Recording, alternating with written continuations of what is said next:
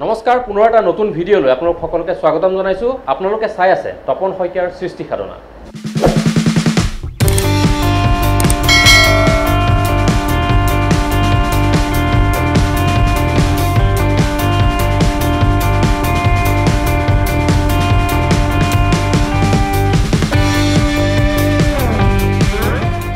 আজি আপোনালোকক এনে এক যুৱ প্ৰতিভাৰ সৈতে চিনাকি কৰাই দিব বিচাৰিছোঁ যাৰ হাতৰ পৰশত প্ৰাণ পাই উঠিছে বিভিন্নজন বিশিষ্ট ব্যক্তিৰ প্ৰতিকৃতি।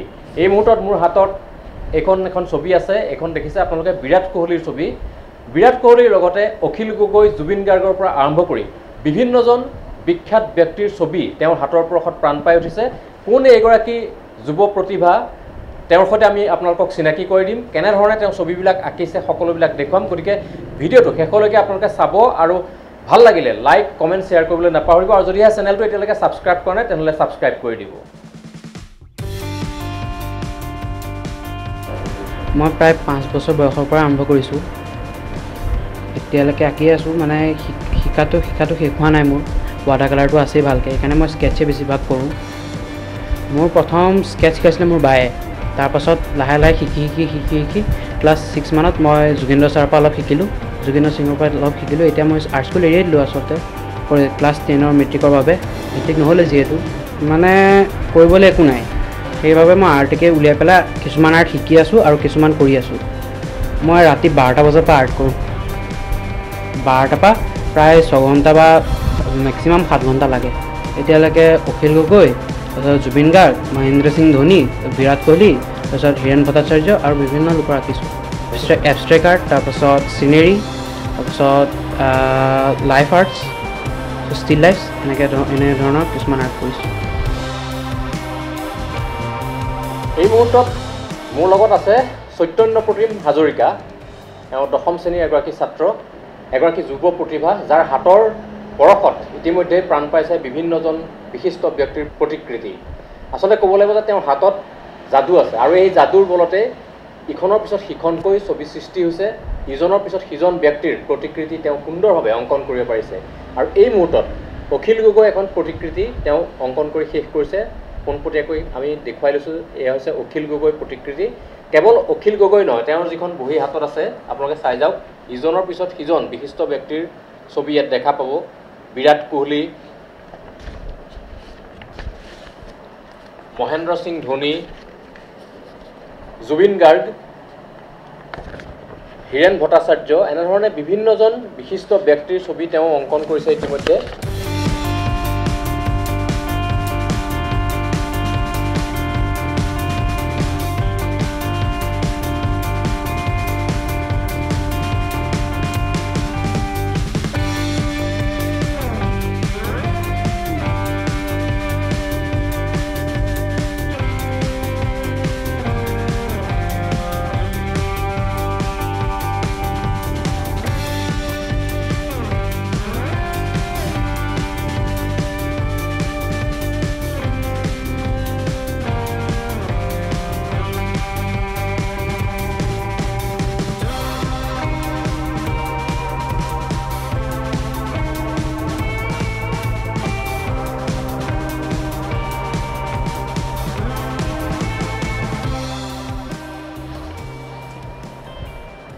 কেৱল বিভিন্নজন বিশিষ্ট ব্যক্তিৰ প্ৰতিচ্ছবিয়ে নহয় বা প্ৰতিকৃতিয়ে নহয় তাৰ লগতে তেওঁ বিভিন্ন বিষয়ৰ ছবি অংকন কৰি এনেধৰণে অভ্যাস চলাই গৈছে চৰ্চা চলাই গৈছে আৰু তেওঁ হাতৰ পৰশত বহু সুন্দৰ সুন্দৰ ছবিৰ সৃষ্টি হৈছে।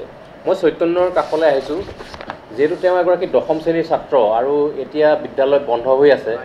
এই বন্ধৰ সময়ছোৱা তুমি কেনেধৰণে পাৰ কৰিছা? মই আচলতে এই বন্ধ সময়ছোৱাত আৰ্ট কৰিয়ে পাৰ পাৰ কৰিছোঁ বেছিভাগ সময়।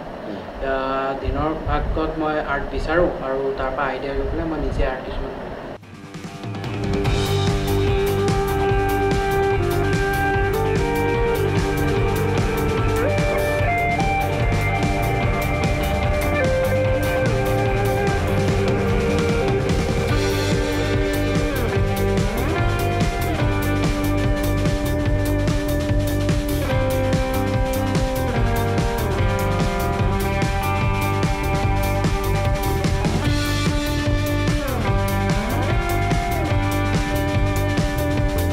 বন্ধৰ এই সময়ছোৱাত তুমি ছবি আঁকিয়ে পাৰ কৰি আছা ছবিটো আচলতে তোমাৰ কাৰণে কি? কেতিয়াৰ পৰা ছবি আঁকিছা? ছবি প্ৰায় মই পাঁচ বছৰ বয়সৰ পৰা আঁকি আছোঁ। ছবি আঁকি মোৰ ভাল লাগে সেইবাবে মই আঁকো। আৰু ছবিৰ পৰা মই আনন্দ পাওঁ সেইবাবে পাঁচ বছৰ বয়সৰ পৰা ছবি আঁকি আছা। এতিয়া ছবিৰ লগত বেছিকৈ জড়িত হৈ গৈছা এই সময়ছোৱাত? বন্ধ বন্ধৰ কাৰণে। কি কি কি পাইছা? ছবিৰ পৰা কি কি দিছে ছবিয়ে ছবিৰ পৰা মই বহুত বস্তু শিকিব পাওঁ। পাৰফেকশ্যন পাওঁ তাৰপিছত নিজৰ হাতৰ বেলেঞ্চ পাওঁ আৰু মোৰ সময়ৰ সঠিক ব্যৱহাৰ কৰা শিকিব পাৰোঁ। কেতিয়া আঁকিছা কোন সময়ত আঁকা এই ছবিবিলাক? মই ৰাতিৰ বাৰটা বজাৰ পৰা আৰু ৰাতিৰ বাৰটা বজাৰ পৰা ৰাতিপুৱা সাত চাৰে ছটা চাৰে সাতটালৈকে। গতিকে গম পাইছে গোটেই ৰাতি আচলতে তেওঁ এই ছবিবিলাক অংকন কৰি থাকে। এখন এখন ছবি আঁকোতে কেতিয়াবা গোটেই ৰাতিটো লাগি যায় একে বহাতে এখন ছবি শেষ হয়নে? হৈ যায়। একে বহাতে এখন ছবি শেষ হৈ যায়। আৰু এই যিখন ছবি আমি প্ৰথমতে দেখুৱাইছিলোঁ অখিল গগৈৰ এই ছবিখন তেওঁ ৰাতি কেই বজাৰ পৰা আঁকিছে কালি? পুৱা পুৱা পুৱতি নিশা তিনি বজাৰ পৰা আঁকি দিনৰ ভাগত এই ছবিখন এতিয়া শেষ হৈছেগৈ।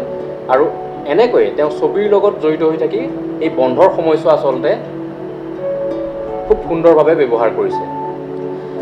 মই পুনৰ তোমাৰ ওচৰলৈ আহিছোঁ। ক'ৰ পৰা কেনেকৈ শিকিলা ছবি? মই ফাৰ্ষ্ট ছেডিংটো শিকিলোঁ বাৰ পৰা তাৰপিছত সৰুটোৰ পৰা শিকাৰ পিছত মোৰ আৰ্টৰ প্ৰতি আগ্ৰহটো বেছিকৈ আহিলে। সেইবাবে মই নিজেই আৰ্ট কৰি কৰি কৰি কৰি ক্লাছ ছিক্স মানত মোৰ পাপাই আৰ্ট স্কুলত দি দিলে শিলঘাট শিলঘাটৰ আৰ্ট স্কুলত। বেছি দূৰৰ বাবে মই জকলামলৈ আহিলোঁ। জকলামলৈ অলপ শিকিলোঁ। তাৰপিছত এতিয়া আৰ্ট স্কুল এৰিতে নিজেই ইউটিউবৰ পৰা চাই চাই শিকি আছোঁ। আৰ্ট স্কুলত প্ৰথমতে তোমাক কোনে শিকাইছিলে? জুবিন্দৰ ছাৰ। যোগীন্দ্ৰ সিং। নহয় জানো যোগীন্দ্ৰ সিং কলিয়াবৰৰ এগৰাকী অন্যতম শিল্পী। যোগীন্দ্ৰ সিঙৰ দ্বাৰা প্ৰথম শিক্ষা লাভ কৰিছিল আৰু ঘৰত কৈছে ঘৰুৱা পৰিৱেশৰ মাজেদি। বৰ্তমান তেওঁ নিজাববীয়াকৈ এনেধৰণে ছবি আঁকিবলৈ শিকিছে। আৰু ইখনৰ পিছত সিখন ছবি আপোনালোকে চাওক কেনেধৰণে তেওঁ অংকন কৰিছে। আৰু তেওঁৰ হাতৰ পৰশত কি কি ছবি আচলতে প্ৰাণ পাই উঠিছে গোটেইখিনি মই দেখুৱাই গৈছোঁ এফালৰ পৰা। খুব সুন্দৰ ছবি তেওঁ অংকন কৰিছে। আৰু ভৱিষ্যতে ছবিক লৈ পেলাই কিবা পৰিকল্পনা আছে নেকি? এতিয়ালৈকে মোৰ ছবিক লৈ পেলাই ইমান পৰিকল্পনা নাই। ছবি মই পেশ্যন হিচাপে ৰাখিম। মোৰ মেইন এইম হ'ল ইঞ্জিনিয়াৰিং ইঞ্জিনিয়াৰিং কৰা বস্তু ইঞ্জিনিয়াৰিঙৰ লগতে মই ছবিটো আৰ্ট আৰ্টখিনি কৰি থাকিম। যাতে বস্তুবোৰ পাহৰি নাযাওঁ। এতিয়া কোন ক্লাছত কেনেধৰণে পঢ়ি আছিলে কথাখিনি কোৱাচোন? এইবাৰ মই মেট্ৰিক দিব লগা আছিলে।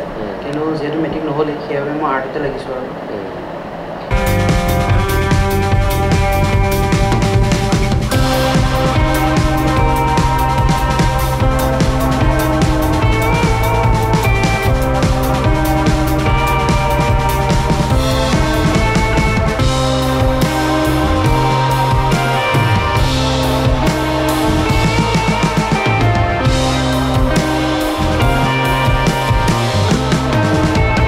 আপোনালোকে ইতিমধ্যে দেখিলে যে চৈতন্যৰ হাতত কেনেধৰণৰ ছবি সৃষ্টি হৈছে কাৰ কাৰ প্ৰতিকৃতি ইতিমধ্যে তেওঁ অংকন কৰিছে খুব সুন্দৰকৈ তেওঁ ছবিবিলাক আঁকিছে আৰু আচলতে তেওঁৰ যি ধৰণে চৰ্চা চলাই গৈছে যে এটা সময়ত তেওঁ খুব সুন্দৰ এগৰাকী চিত্ৰশিল্পী হ'ব পাৰিব তাৰ বিশ্বাস আমাৰ মনত জাগিছে আৰু আমি তেওঁক ভৱিষ্যত উজ্জ্বল হ'বৰ কাৰণে শুভকামনা জ্ঞাপন কৰিছোঁ যাতে অনাগত দিনবোৰতো তেওঁ অন্য যিয়ে নকৰক এই চিত্ৰশিল্প যাতে তেওঁৰ লগত থাকে। চিত্ৰশিল্পক যাতে তেওঁ লগত ৰাখি আগুৱাই নিব পাৰে তাৰ শুভাশীষ জ্ঞাপন কৰিছোঁ শুভেচ্ছা জ্ঞাপন কৰিছোঁ।